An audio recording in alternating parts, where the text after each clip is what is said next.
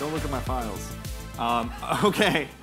I have a confession. I'm a Figma Slides user. There are dozens of us out there. Round of applause. Um, and I'm here to talk about how it's not attention that's all you need. It's the browser you, that's all you need, or the browser MCP server that's all you need. And when I think about you know Browserbase, what we do is we're browser infrastructure. We run thousands of browsers in the cloud for your AI agent to go out and connect to the web and do things and solve captchas or use proxies or all of the stuff you really need to automate the web with your AI agent. And when I think about AI agents, I think about the legacy internet, the internet that's not going to have an MCP server. The DMV will not have an MCP server, at least not under this presidency, right? So how are we going to have AI talk to the rest of the world, the rest of the internet?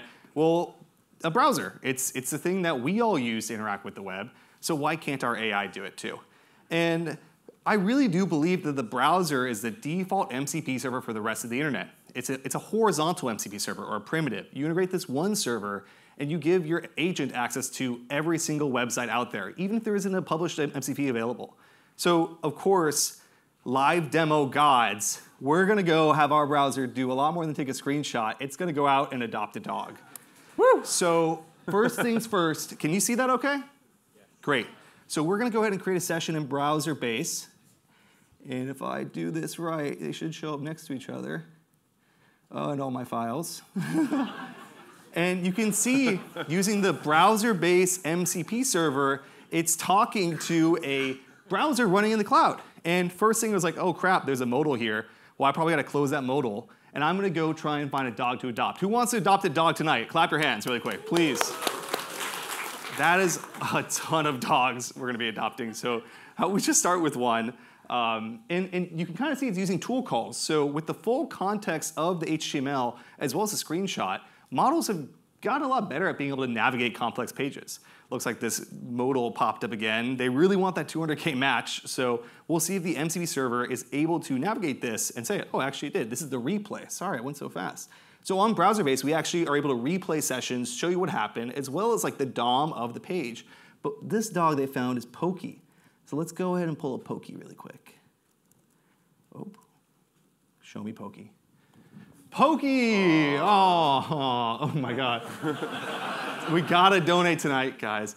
But that's that's kind of a good. Oh, rejected me. But that's kind of a good example of like what the web is like. If you're building deterministic scripts, maybe you've used Puppeteer, Playwright, and Selenium before.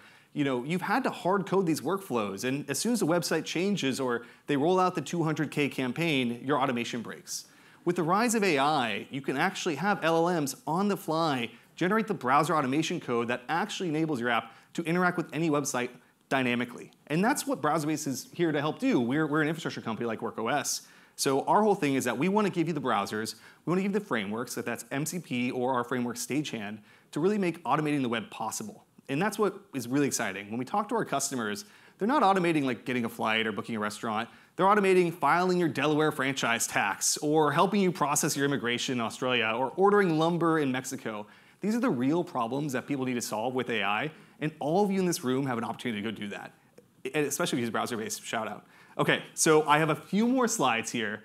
Um, first of all, I want to talk about the future, because I showed you the present. You can go use this today, Browserbase MCP, we'll talk about in a second. But what's the future? Like right now, you're running your agent in Cursor, right? You know, maybe this meme should be reversed, honestly, because when I sleep, I want my agent to be running. So I think remote agents or asynchronous agents are on the way. And when you're able to use infrastructure that operates, even when your laptop is closed, that's where you're going to see agents really explode, and WorkOS will be in very good business at that time. So the final thing I'll share is that our MCP server is available today. If you want to go build an agent that can go operate anything on the internet, you can scan this QR code, install it. It works in Cursor, it works in Windsurf, it works everywhere. And that's pretty much it with 45 seconds to spare. Come on, Michael, I earned one question, please. All right. Round of applause. One, one, one question. Raise hands really quick. How does it matter browser use? So browser use is a cloud platform for browser uses Python SDK. Browserbase is just the infrastructure. We have Stagehand, our framework. Stagehand has, has more daily downloads than browser use, and you can think of like browser use is more for like POCs. Stagehand is for production usage. So if you're going enterprise first or selling a software, consider Browserbase and Stagehand. Cool. I Give it up again for Paul. Great.